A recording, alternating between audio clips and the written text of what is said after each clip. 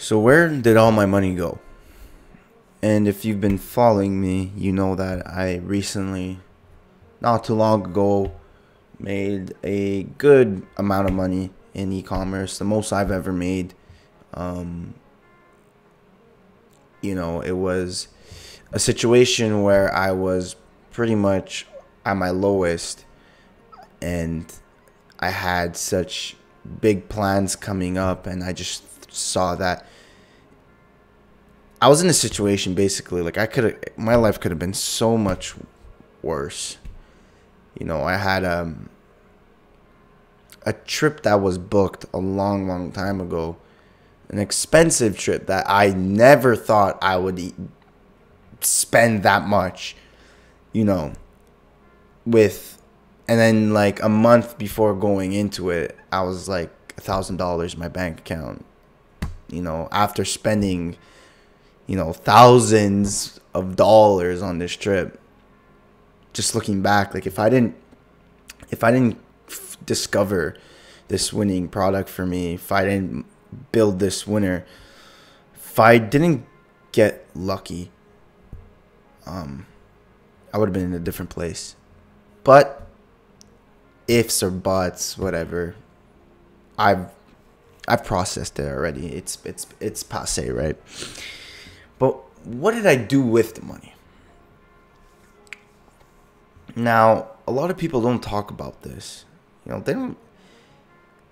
So many people online aren't personal about their life, and for good reasons. Trust me, I. I force myself to do this shit. like I'm not. I don't. I'm not willing to be very personal and post it online for thousands of people to see. But I force myself because I know like this is the truth. These are the problems, these are the faults, these are the mistakes that us humans go through. But no one likes to share them because it's like it's embarrassing or it, it's not something people like to share. People like to share only their wins. It's just kind of obvious, right? But I have a sole intention of being fully transparent, whether it's a win or whether it's a loss and especially the losses where a lot of people don't show or are not transparent about it. I like to be transparent because I know that there are people behind the screen that will go through the same issue, and hopefully, I can help them get through it. And look, I'm not saying I'm broke. I'm not back to broke. I'm not that like I I'm not that retarded, but you do have to understand. Um, you know, I made a big bag from ecom and then half of it is probably gone because of the holidays. I went on a big and it's I'm not even gonna blame it on the holidays. It's just like everything, everything that unfolded with my life. Like I went on a big trip that costed me a lot, a lot of money. Then Christmas came around, spent a lot of gifts, went out a lot, paid for dinners. Uh, um, you know, just because like I felt like I could afford it even though it may not be the smartest decision, or maybe even some people may have more money than me, but I still said, I don't care. I can afford it. I want to pay for dinners um, for other people, for my loved ones, because that's just what I want to do. Did, I did it multiple times throughout the months of December. Um, you know, went over on gifts because it's just like this is the season, right? And now I'm obviously experiencing the well, I got a credit card to pay, right?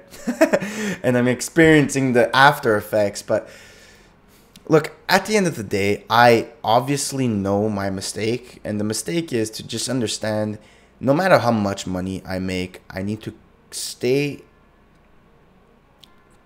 focused and keep treating like I'm absolutely broke, you know? I can see myself and how I react and how I act. The different person I am when I know that I have like a thousand dollars in my bank account or when I have like well over five figures, like, you know, I'm, I'm a bit chilling, right? The difference of who I am, the different mindset, the different actions that I do. I'm just, and, and for me, I don't understand because my goals are so much bigger I want millions. I want millions and millions and millions at a young age. And when I get to middle age, I want hundreds of millions, hundred. Like you know, it's like my goals are so big, and yet when I make such like, yes, for me now it has a, a, a huge impact on my life. But in the grand scheme of things, I know the money that I've made is just chump change. But yet I treat it like I'm fucking a baller. I treat it like I've made it sometimes. I, not that I treat it like I've made it, but I get I get comfortable. But it's like, Julian, why are you getting comfortable? You've only made, you know, 30k, let's say, in profit. That's nothing. That's fucking that's fucking that's nothing. Now for a lot of people that is something. And for me, it is something because my bank account was at 1k. But my point is is that you know in the grand scheme of things, that's nothing. That is absolutely nothing. You're you're striving for millions. So why get comfortable? Why be like, oh, you Julian, you made 30k. Just take a chill pill. Now, the whole mindset that I had during the month of December, I did not hold back on my spending. And the reason being was I always said, look, Julian, there's a reason God gave you this opportunity. Now, obviously, don't spend it stupidly, but if I was going to spend it on experiences or giving or providing, right? Don't cheap out now, and you know that money's gonna come back. The way I saw it was, let's say for an example, I paid for dinners that maybe people have more, even more money than me in their bank account because they saved up for years, right? even though they have more money than me, I know though I'm gonna make more than them. like that's just a fact. I know that. So it's like let and I'm in something that has the room to make a hundred, even a thousand x more, right? So I just thought, let me cover for the bill. It makes me feel happy. It makes me feel like I, I I'm doing my job, I'm doing my role. And I for so long I was seriously unable to do that. Like a bill would have probably put me in my bank account at zero dollars, but now that I can afford it, uh, now that I have the right mindset, now that I'm a bit more stable in my life, even though it's not in the money, but it's like I'm more stable in my mindset. I know what I'm doing. I've dropped everything and and I'm so focused on what I do, is that I could be paying for other people or giving more and feel comfortable with it. Now, do I do I regret spending X amount this month? No, I don't. I, I try to live with no regrets. But I do want to take this lesson going forward because the month of December, the month of giving, as like as like as I'd like to say, is not every month. It's one month out of the year. Okay. So now, moving forward, starting from January, I have 11 months to focus on myself. But I did see that, okay, let's say for an example, I'm going to give you personal examples because that's the best I can give, right? I went out for a cousin's birthday for supper, and we're like 10 people, right? We, we all went out and ate for supper.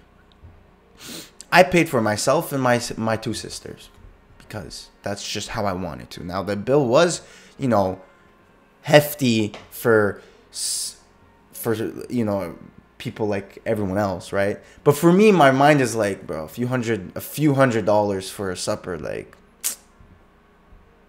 I know there's more to life. There's people spending 10 grand on a supper, you know?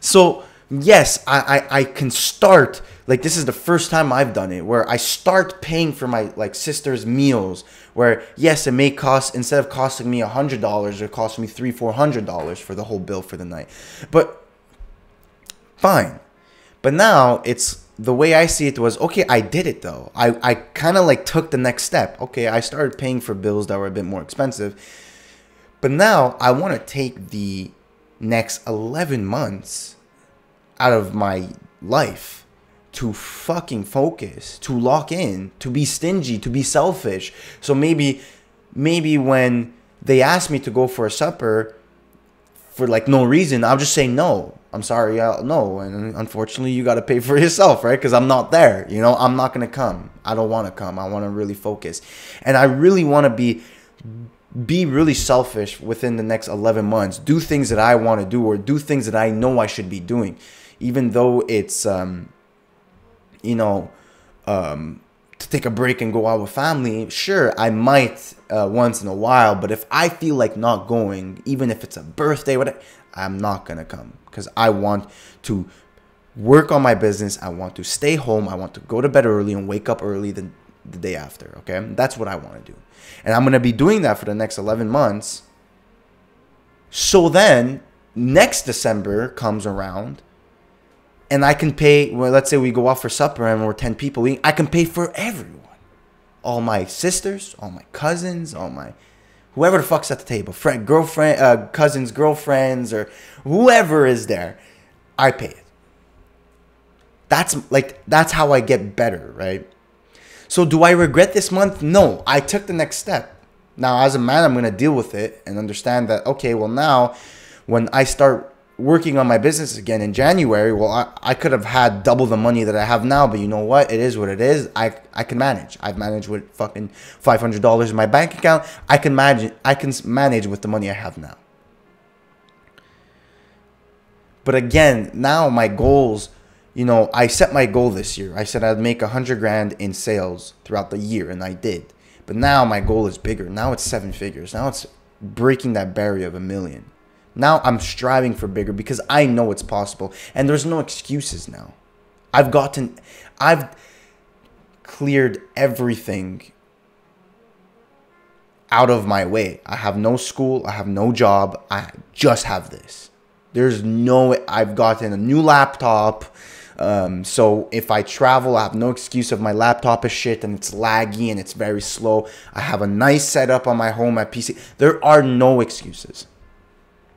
So for the money wise, do I regret it? No, I don't regret it. But I do have to say though for anyone because it's very difficult to talk about my personal life because a lot of my personal life is very different to the people watching. Like you watching, I'm sure like I can't explain it, but I've already said this before. Especially like I'm sure the majority of people are in the United States. The United States for like their family dynamics are very different from where I am from Montreal, Canada, an Italian family. We're all very tight. Like no one moves out, no one leaves early. Um, we all do things together, right? But for me, that's kind of trying to spread my wings and leave, but also like I don't want to leave my family behind, type of thing. Like there are people where I just want to leave my family. I don't give a shit about them. Like there's people that left their house at 16, you know. I have my sister that's like 28, 29. She's still living here because they're the Italian ways to is to get married first, right? So it, just fam- family dynamics are different. So it's so it's not easy to just leave and go on my own with boys and live on my own. Um, but basically, this December was just a lot of time with family a lot of time spent with them. And yes, the whole time I kept thinking, yo, I'm lacking, Julian. I'm lacking. I need to be working on my business. I need to be locked in. What am I doing? But I think it's just part of the process to understand that, hey, look, there's more to life than just money. Um, to understand, you have to be grateful. You're spending, you're able to, like, even though I wanted to just be locked in with my business, I was able to spend days and weeks with my family without it hurting my life. Because of all the work that I did throughout the year, when it came to December, I quit my job, I quit my school, I made um, a good a good amount of money where I was allowed to be like, Julian, you know, you, you could spend time with your family without stressing. I stressed nonetheless, and that's something I have to work on. But I could have. It gave me that room. It. I allowed my like. I can't explain it, but basically, my point is I don't regret anything. I've spent a good amount that wasn't back on the business. Not only did I spend a lot not on the business, I didn't even spend a lot of time this last month. And you can probably see from my videos. I'm I'm not posting as I used to be. But at the end of the day, do I regret it? No, I don't regret anything. Maybe it, is it a mistake? Maybe. I don't know. All I do know though is that I'm very grateful for this year. I did a lot this year. I achieved everything that I said I would. And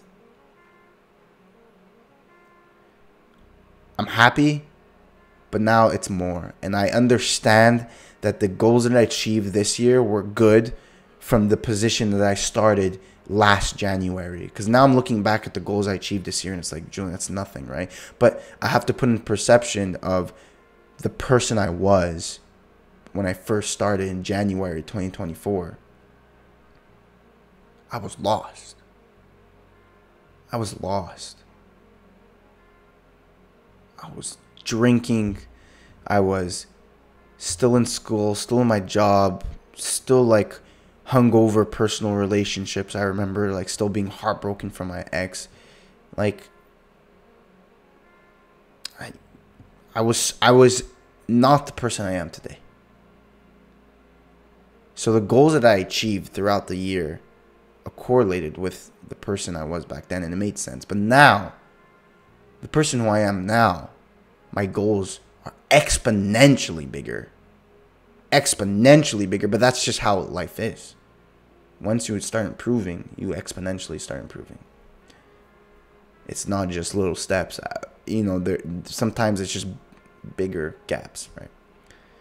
Anyways, I, this was a pure ramble but basically, just to say, like, be careful with your money and when you make a big money in business in general. That doesn't even have to just be ecom.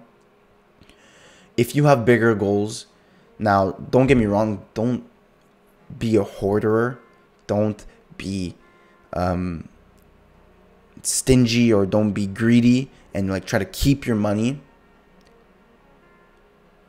But be smart with it.